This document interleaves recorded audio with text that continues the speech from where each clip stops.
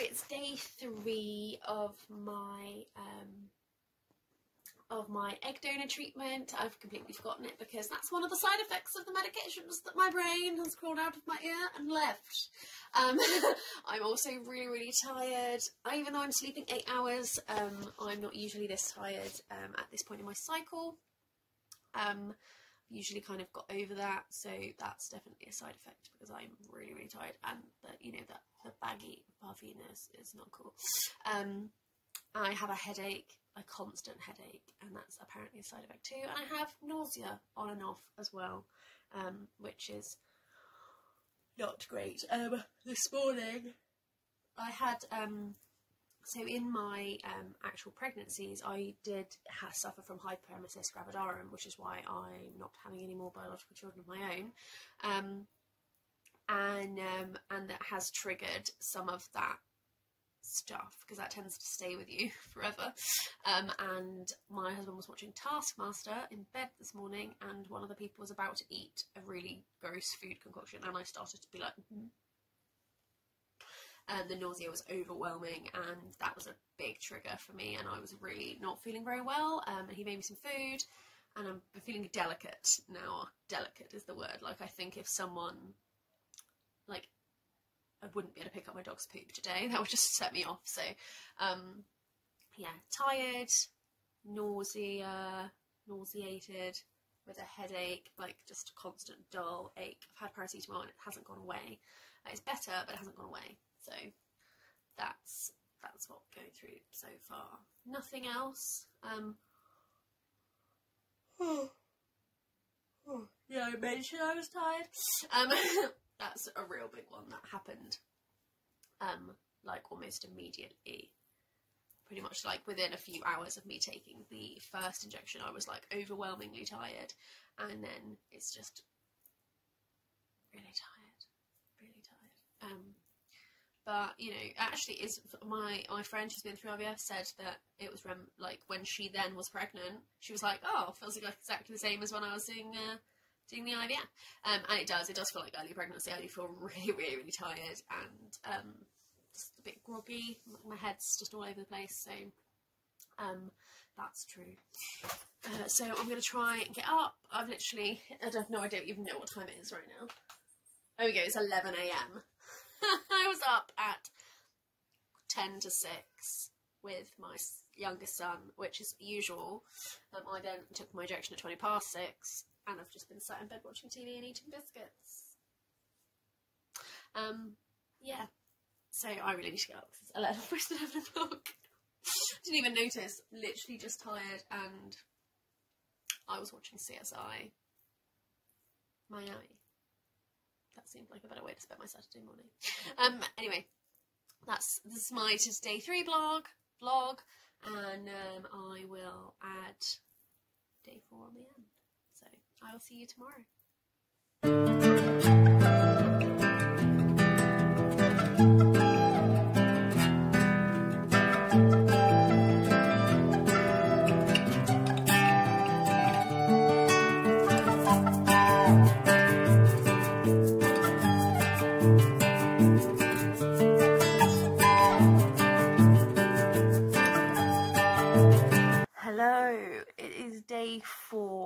Of my um, egg donation journey. It's day five of my menstrual cycle. Um, so I am uh, approaching that pre-ovulatory phase. Um, I'm really tired this morning. Uh, that's not related to the uh, the um, egg donation uh, hormones that they're giving me. I just uh, end up having a late night, um, and I always get up at this time at like six, between six and six thirty, so it will wake up at least. Um, just wanted to talk a little bit about my mood and like the side effects that I've been feeling in the last couple of days. Um, the first day didn't really have anything, um, but now day two, day three, day four, I've been increasingly tired. Um, and yesterday I had a headache all day um, just like across here, and even after um, paracetamol, it still just remained this dull ache. and I felt sick as well. And I had, um, as I've talked about before, I've had um, I had hyperemesis, which means severe pregnancy sickness. Hyperemesis gravidarum. Um, in my pregnancies, and it was so similar. Like the triggers were really similar for me feeling nauseous, and I was like, oh no. Um, but if two weeks of feeling ill in that way is what it takes for somebody to someone to have a baby who otherwise wouldn't have been able to have a baby, then I can deal with that as long as it's not nine months of it. Um, that's you know I couldn't cope with that again, but um, I can I can deal with it for two weeks. Um, and yeah, I suddenly last night I couldn't sleep. I think that's why I ended up having a late night because I suddenly realised. Sounds a bit trivial, but like the procedure to have it done, to have the eggs taken out, like oh no, like some of randos are gonna see me naked from the waist down again, like because obviously when I had kids, everyone saw that, but I didn't really care, and I'm like at least I'll be sedated and it, I know like I won't be aware of it, so it just feels like a bit embarrassing, but never mind. I'll uh, I'll not be aware of it. I'll be completely out for the count. So hopefully I won't be maybe I'm sick, feeling as sick today, but um, I expect I probably will. It's not I'm not nauseous enough that I can't eat anything. It's just it was just annoying. Like um, I have to be careful of what smells I smell, otherwise it makes me feel ill. I'm to try and keep remembering to take my multivitamin with folic acid. Um, I'm remembering it most days, but to be fair, I didn't remember it a lot when I was pregnant or trying for my children, so I'm not expecting it to be any different this time. But I, uh, I am. I think I'm taking it more, um, just to try and remember. I'm gonna go and do that now. See if I can get Phil to make me a cup of tea. I am off out today with a friend, um, and um, socially distanced, of course. And uh, I think the other thing that it popped up as well is that I've been really emotional. Like anything will make me cry, and I expected it to be like PMT, um, or PMS for me to be angry or annoyed really quickly, but actually it's just been really emotional. Like, I explained to a friend yesterday that this is going to make people laugh, I'm sure, especially if you know me personally. Um, that Tesco had stopped doing orange dark chocolate with orange oil, and um, when they brought it back, it had milk in, and I'm allergic to milk, so I couldn't drink that. I couldn't drink it. I couldn't couldn't eat it um, and it made me, and then I cried. I was retelling the story. Obviously, when it happened, I didn't cry because I wasn't pumped, pumping myself with hormones. But retelling this story to my friend yesterday, I um, I actually got really emotional, started to cry.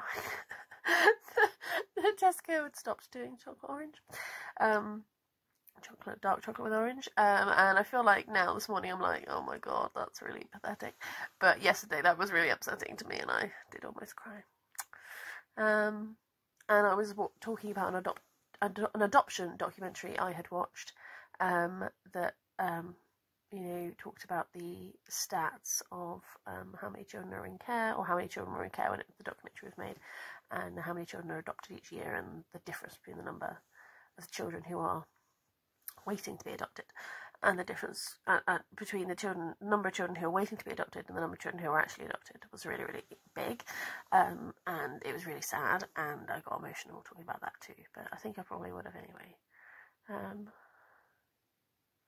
hopefully, we'll do something about that in the future. At least one, anyway. Um, yeah. Anyway, I'm gonna go because I really need a cup of tea, decaf tea, because I am trying to be good. Make this eggy the best eggy it can be. Or, or these eggies, pardon me.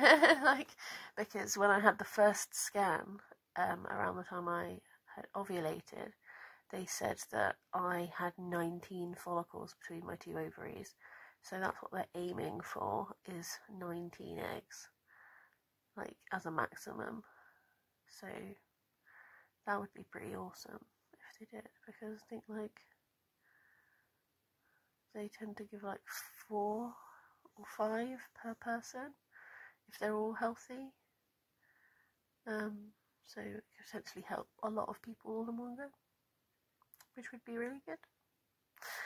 So I'm going to go and I will speak to you tomorrow. Tomorrow we start the um, Fyremadel injection as well, which is um, saying, okay, so there's one I'm taking right now is like, hey, mature all of those eggs that you could make, not just one.